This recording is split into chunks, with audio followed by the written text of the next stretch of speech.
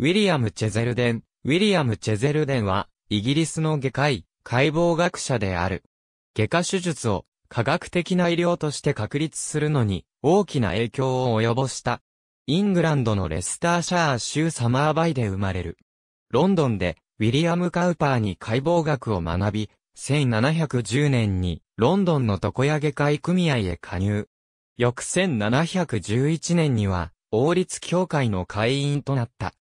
1713年にラテン語ではなく英語で書かれた人体の解剖という著書を出版し、イギリスとアメリカで16版を重ねる重要な教書となった。1718年にロンドンのセイトマス病院で下級外科医に任命され、翌年には常勤外科医となった。さらに1733年の聖ジョージ病院の設立の際には、同院の外科医の一人として選ばれた。オステオグラフィアの骨格図版1733年に、オステオグラフィアあるいは骨格の解剖学を出版し、それはカメラオブスキュラを利用して、イギリスで初めて人の骨格系をすべて正確にスケッチした骨格図版であった。1738年にセイトマス病院を退職し、間もなく王立チェルシー病院に移籍した。1739年の孤児養育院設立の直居には、チェルシーカレッジとして、チェゼルデンの住居が記載されている。彼はこの事前事業の創立者でもあった。1744年には、床屋外科組合の組合長に当選し、続く1745年に、床屋の業務から外科手術を分離し、外科医組合として独立した。この組織は後に直居を得て、かの有名な王立外科医師会となる。1749年、当時21歳のジョン・ハンターを弟子に迎えた。1751年に病に倒れ、翌1752年にバースで死去。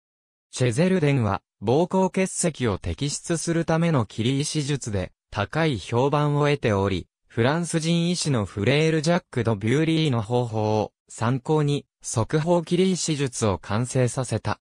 円を切開する際に、従来イギリスで行われていたように正中線に沿って切開するのでなく、1インチ速報を切開することで、人体への危険性をより軽減する方法である。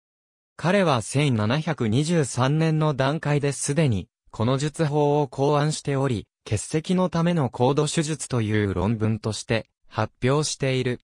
1727年にこの術式は初めて臨床、試験され、わずか数分間で手術が行われたために、患者の死亡率は80例中6例と、麻酔術以前としては、驚異的な成果であった。彼の考案した、交際切除手術も、また、眼科手術の発展に大きく影響を与えており、1728年には、人工的な動向形成術によって、盲目疾患の治療を行っている。また、人の消化における唾液の役割も紹介している。アイザック・ニュートンの指揮を見取り、またアレキサンダー・ポープとハンス・スローンの親しい友人でもあった。ありがとうございます。